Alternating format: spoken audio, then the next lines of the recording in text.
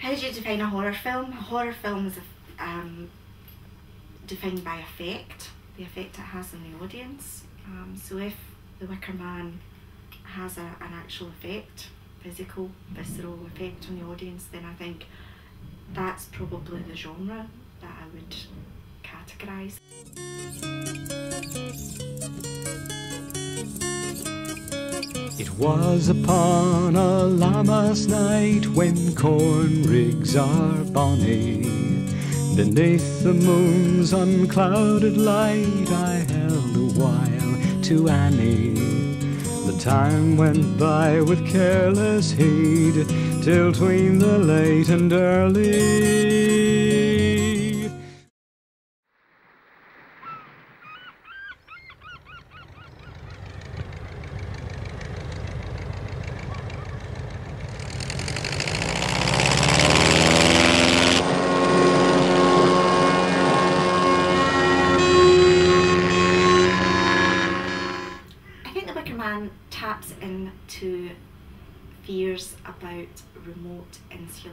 Communities and how those communities operate um, beyond uh, the reach of the law. And I think fundamentally that's what it's about.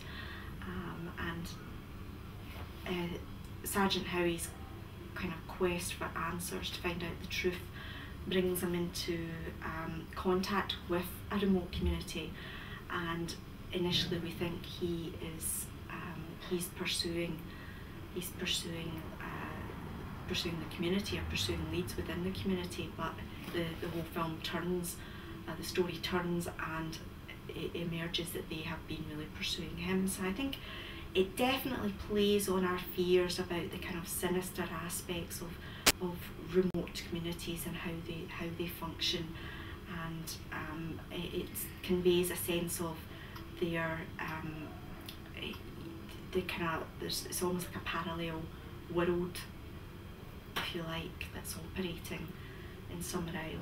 Um, so I think that's really what it's about. I think it's also saying quite interesting things about um, the cycle of life, fertility, um, and uh, the whole kind of uh, pagan ritual.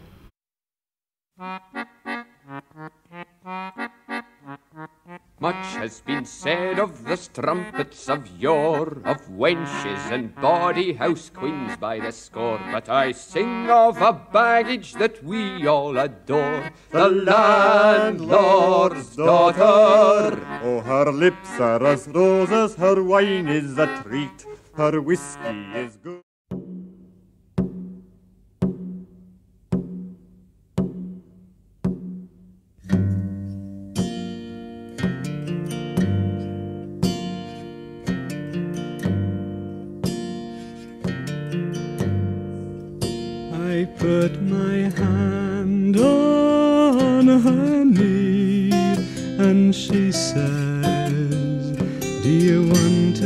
I put my hand on her breast and she says, Do you want a kiss? Gently. I think that's fairly commonplace that locations will be used um, to represent other locations um, and, and it, I mean it goes beyond just the Highlands being used. I think we we're beginning to see um, countries like Romania really um, making a, a quite a, a, significant impact because they are able to offer um, authentic looking locations with um, cast uh, with, with, with crew that are you know relatively inexpensive um, to use. So I, I think that the whole issue of location shooting is really it's really interesting the way some locations are used to represent other locations. Um, and that may have been the case with the southwest being used to represent the highlands but there are also kind of wider kind of implications of that in terms of the the whole kind of um, ethos behind location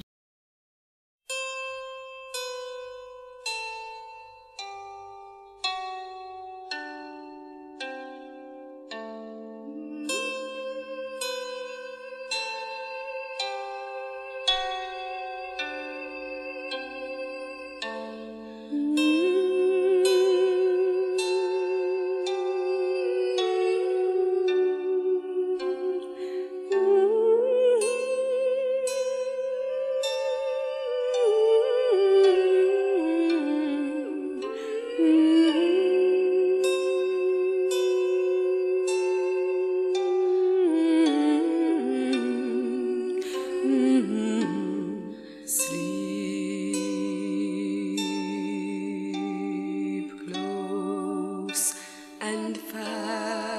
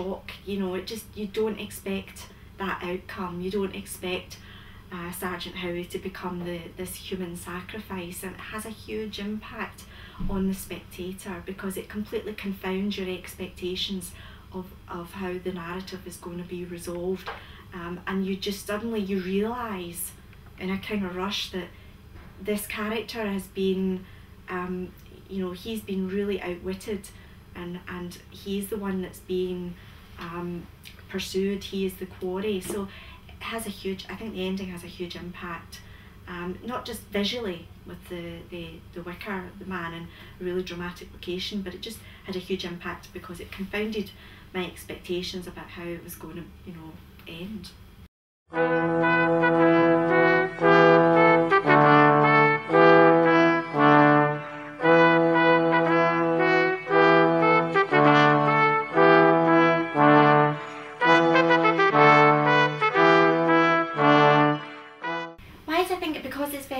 British, because it has a really distinct British uh, identity, because of the use of the cast, the crew, the location, um, the, the kind of thematic preoccupations of the film, um, and because it has a very kind of uh, because of its cult status as well, it has quite a significant international profile, um, and obviously the fact that it's just been remade um, badly, um, starring Nicolas Cage. I think all of these things tend to, um, you know, raise the profile of a film, and it has made it onto various lists.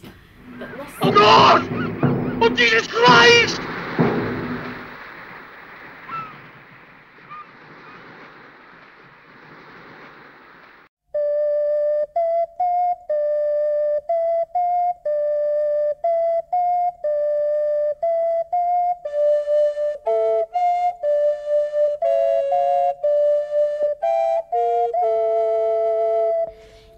Flame inside you, burn and burn below. Fire seed and fire feed and make the baby grow. Take the flame inside you, burn and burn below.